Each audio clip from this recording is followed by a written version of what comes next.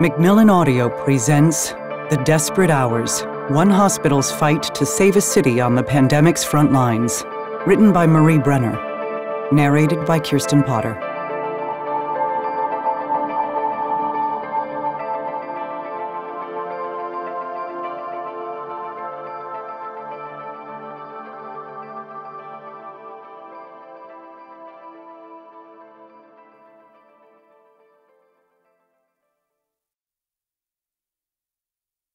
Emergencies are crucibles that contain and reveal the daily, slower burning problems of medicine and beyond, our vulnerabilities, our trouble grappling with uncertainty, how we die, how we prioritize and divide what is most precious and vital and limited, even our biases and blindnesses.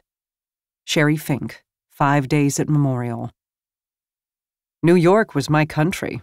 There was something about New York. We will rise to this occasion. There was a determination, a grittiness. This is our city. We are going to get through. Rick Evans, New York Presbyterian. Introduction A commonplace of writing advice is to explore what you are most afraid of. Find your fear, and there is your story. Like most people, I dread going into hospitals. I fear infection and the sense of looming decay. Hospitals, we know too well, can be the portal to death, but also a place of miracles and cures. Still, the fear of hospitals is very real. Who hasn't heard a family member or friend plead, Whatever you do, don't put me in a hospital? Who hasn't experienced the worry that wafts from the waiting rooms, or seen the looks of dread and glazed eyes in the coffee cup filled lounges? In June 2020, when I heard of the possibility of reporting and writing this book, I didn't hesitate for a second. I would be able to penetrate one of the world's greatest hospital systems in New York and interview those who had lived and led the city through a once in a lifetime pandemic. What these medical professionals did and what they learned the mistakes they made, the breakthroughs they discovered, and the triumphs they experienced would come to set a template for the entire country. I needed to understand the fear that overcame everyone who stayed in New York throughout the surge of March and April as hospitals in the city were overwhelmed, and to understand those whose lives are lived as a calling to save every life they can. I would discover that many of my questions would not have an easy answer. What draws people to fight for the common good in a crisis? How can people expose themselves to so much risk? In March 2020, as tents reminiscent of the Civil War overtook the grounds of hospitals throughout New York City, gallant descriptions of past wars were used again and again to rally the City of Dreams. The governor of New York had his finest moment, using his rhetorical flourishes to swing for the big leagues of leadership, indicating we would fight as was done on the beaches of Normandy, meet the enemy as the Union had at Gettysburg, endure the hardships as the residents of Stalingrad had when under siege. All of it was meant to comfort as the unfathomable scenes cascaded of refrigerated trucks, now temporary morgues parked on Lexington Avenue and on the driveways of New York Presbyterian's premier teaching hospitals, Weill Cornell Medical Center on Manhattan's Upper East Side and Columbia University Irving Medical Center in Washington Heights. That spring, night after night, New Yorkers gathered at their windows at 7 p.m. and cheered for the doctors and nurses and respiratory therapists and physician assistants and transporters inside every hospital in the city who showed up every day to try to save lives. New Yorkers banged pots. They yelled. They drove in the streets honking horns. They waved to their neighbors and sometimes sat outside on their stoops and called to each other across the street. They sang arias as people had in the hot spots of Italy earlier that spring. The evening applause became the soundtrack of a city in crisis, and it went on for months. But the banging of the pots, the pans, the calls for glory could not camouflage reality. New York and its hospitals were completely unprepared, even at New York Presbyterian, the Mount Olympus of healthcare systems. They were so unprepared that academic chairs of the medical schools affiliated with the hospital were deployed as volunteers to help sort and fold 600,000 pairs of scrubs the hospital ordered in haste to protect 30,000 employees. The scrubs arrived separately, tops and bottoms, and all had to be matched for size. And in the end, unlike after wars or massive terrorist events, the hospitals erected no enduring stone memorials to all those who died in service to save lives. Photos on the bulletin boards of nurses and respiratory therapists and doctors who had died vanished, as if a collective corporate decision had been made not to tarnish the brand. When I asked about this later, I was told there were privacy concerns. The shame of silence haunted many who desperately wanted to honor the dead. The COVID pandemic started in Wuhan, China, a city that few in the United States had ever heard of and ended up devastating nearly every corner of America. But if there was one city that had to be saved, it was New York. Because if the virus truly went out of control there, it might have spread with such ferocity that the death toll in the United States could have been in the millions. New York was the fort that had to be held, and it was, at profound cost.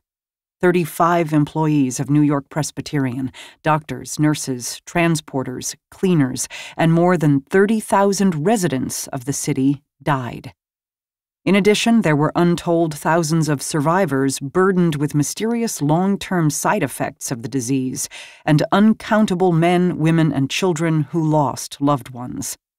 And while the blight that spread across the country would kill more than 1 million Americans by April 2022, had New York Presbyterian crumbled, the damage to the nation and the world would have been many times worse than what we did experience. At the beginning of the pandemic, there were three things that many at New York Presbyterian assumed, three things that turned out to be wrong. The first was that they had what they needed to handle it. The second was that people across America would come together and cooperate to win the war against COVID. The third was that the vaccine would be the end of the pandemic. December 14th, 2020, the day the vaccine arrived, did turn out to be thrilling and, as we know now, heartbreaking. But it's easy, too easy, to assert that because COVID has persisted in an increasingly contagious, if also increasingly harmless to the vaccinated, form, nothing done during that first year really mattered. When historians look back at the first year of the pandemic, they will recognize not only the immeasurable heartbreak, but also that New York held on, and that made the difference. The doctors in my own family were treated with reverence as high priests from another culture. One cousin spoke often of her training at the Mayo Clinic during World War II when the first doses of sulfa powder came to her unit and saved the lives of dying children. One of the few women at Mayo in that era, she projected the formality of a character in an Edith Wharton novel, occasionally calling her husband, a prominent surgeon, Dr. Fisher, at the few family gatherings they found the time to attend. The fact that their patients came first was never questioned. Many of the doctors I met in my months of reporting shared the same belief. As I discovered in the course of reporting this book, the span of New York Presbyterian is massive, and so was the pandemic's impact on it. It has 4,066 beds, and campuses that extend through every borough except Staten Island and up into Westchester County and the Hudson Valley. In 2021, there were 1.2 million separate interpreter sessions in 216 languages, most frequently in Spanish, Mandarin, Cantonese, Russian, Korean, Arabic, Bengali, Fuzhou, Haitian Creole, and Polish. Across the campuses, there are 62 pastoral care employees. The hospital system uses 120,000 surgical masks a day, at the height of the New York surge, New York Presbyterian employees were given 40,000 rides a week, 3,000 hotel rooms a night, and 34,000 meals a day. The hospital ran out of disposable thermometers and stethoscopes and cleaning supplies and hand sanitizer. It had to rely on sanitizer manufactured in the New York State prison system. Two football field size warehouses were opened to accommodate the massive lend lease style operations that transferred equipment to and from the hospital sites dozens of times per day. The number of isolation gowns used for PPE jumped from 15,000 a day to 115,000 a day, N95s from 2,500 a day to 16,000 a day. The hospital more than doubled its ICU capacity and its ventilator supply as 1,000 clinicians and nurses arrived to assist from the hospital systems of the Mayo Clinic, Rochester, Pittsburgh, Cayuga, and UCSF, among many others. In an ordinary year, there are 700,000 emergency department visits and 5 million ambulatory visits. But nothing about March 2020 and the months that followed was in any way ordinary or planned for. Through more than 18 months of reporting on 10 campuses of New York Presbyterian, I interviewed nearly 200 doctors, nurses, transporters, porters, and aides who worked at every level of the hospital system, from the morgue to the research labs. Many of them had never spoken about their experiences to anyone on the outside, including their families.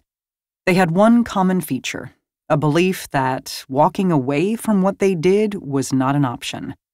I heard over and over again variations of, I didn't think about it. I had to be at the hospital the next day. The doctors and nurses worked themselves to tears and exhaustion, and some of them did not make it. But there was also a flowering of ingenuity and creativity, of improvisation and invention. They tightrope walked, and they juggled a thousand and one objects, and they leaped into space, hoping a trapeze was on its way. This was their moment, and they seized it, at great cost, but with no choice in the matter. The rapture of action, the renowned heart surgeon Craig Smith called it. They were not divine, but they did divine things. What follows are their stories. 1. Long after the god awful New York City pandemic spring of 2020, Dr. Lindsay Lief would remember the excruciating morning the alternate universe came calling. Death was everywhere. It was April 3rd, a Friday, and one of the worst days at the height of the surge. The New York Times banner headline ran the width of the front page Unrivaled job losses accelerate across U.S. Underneath, a travel map of the United States was mottled with coronavirus red. At dawn, Lief rushed through the beige halls of the fifth floor of the billion dollar Greenberg Pavilion at New York's Weill Cornell Medical Center and pushed through the swinging doors of her ICU to find a message relayed from Steven Corwin, the president and CEO of New York Presbyterian. Lief tried to process the gist of an email sent to all the ICUs and their nursing supervisors. Corwin wants to do video rounds with you later if you are around. Everything about that sentence had been unimaginable to her just weeks before. It was almost unheard of for the CEO of the hospital to reach out and down to critical care teams. It was like, well, it was hard to think what it was like. The head of NASA asking to sit in on the weekly meeting of a high school astronomy club? The boss of a Hollywood studio calling a theater in Fargo and asking to speak with the manager at a concession stand? Before the pandemic hit New York, Lief had only the faintest sense of Corwin's background. He was at the helm of the hospital mothership, far removed from patient care. Over the years, they had met briefly at hospital dinners when Lief was being handed yet another award, but her seat was definitely not at his table. Lief is the director of the Medical Intensive Care Unit on 5 South, one of six ICUs at New York Presbyterian Weill Cornell. The original hospital was created by royal charter in 1771, and it is still considered the Emerald City of medical care in the great metropolis. She oversees a team of 11 critical care physicians, the attendings, and dozens of highly trained nurses, respiratory therapists, pharmacists, x ray techs, and housekeepers. Environmental services in hospital speak, all of whose task is to help heal the sickest of the sick, to conjure miracles amid the breakdown of the body's systems. On a normal day, back before all of this, Lief would have awakened and taken her children from their home in Greenpoint, the northernmost neighborhood in Brooklyn, to school in Williamsburg, joining the throng of hip Brooklyn moms and clusters of Keter boys in their yarmulkes and payas navigating for space on the sidewalks before going to work. Now, her normal days involved waking up when it was still dark after far too little sleep she was often the only person on the road as she crossed the deserted Queensboro Bridge. She would reach Weill Cornell at 6 a.m. The atmosphere inside the hospital was surreal. The marble entrance halls, once jammed with crowds of visitors, were desolate. The gift shop shuttered. The old Bon Pain in the lobby, where in the old days she'd bought croissants for her team, completely dark.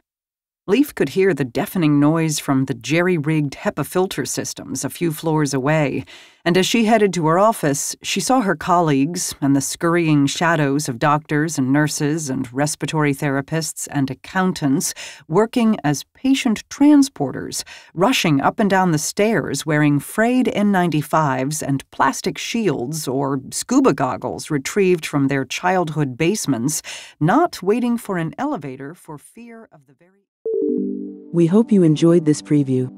To continue listening to this audiobook on Google Play Books, use the link in the video description.